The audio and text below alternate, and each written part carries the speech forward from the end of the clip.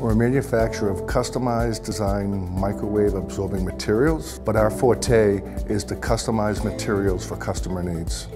which could be comprised of composite material, advanced technologies, thermoplastic materials, gumstock rubbers, as well as polyurethane foams. Customer will come to us, they'll have a specific set of requirements. We'll design performance based on a variety of products that we have at our fingertips here, as well as an engineering staff to dial in that performance and ensure that our products meet their requirements both from a fiscal perspective as well as in the field. Usually a customer comes in with a specific need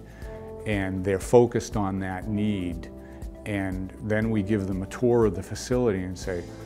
wow, you do this too, and you do this too, and it really opens their eyes. And we try to do the best we can in letting them know that, but until they come here, they really don't get a true sense of what we are and the size and the capabilities that we have.